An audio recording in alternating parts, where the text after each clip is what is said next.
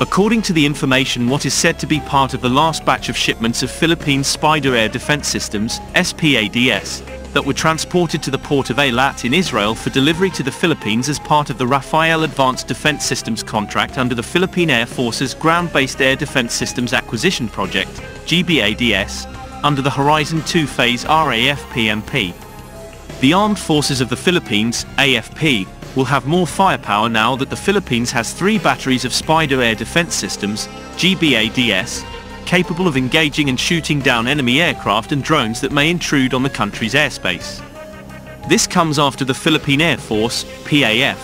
formally took over the first two batteries of the Ground-Based Air Defense System, GBADS, at Basa Air Base in Floridablanca, Pampanga last November 8, which was personally witnessed by President and Commander-in-Chief Ferdinand R. Marcos Jr.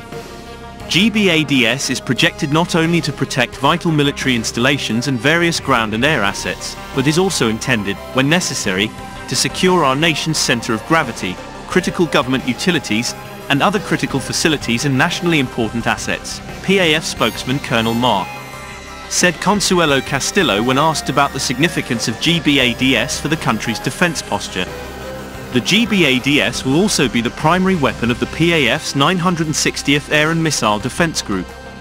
The newly acquired GBADS, or specifically called SPYDER Philippines Air Defense System, SPADS, is a mobile air and missile defense system designed to protect critical installations, ground-based fixed assets, mobile platforms and friendly forces from air threats, such as fighter aircraft, attack helicopters, unmanned aerial vehicles, incoming missiles, guided munitions and rockets.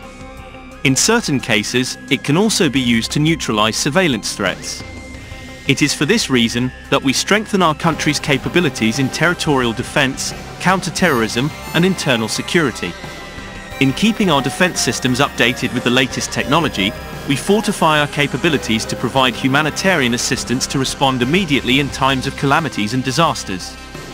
With terrorism and external security threats brought by geopolitical tensions looming around us, around the Asia-Pacific region, and around the world, it is imperative that we continue to equip and empower ourselves in whatever capacity we are able, Marcos added.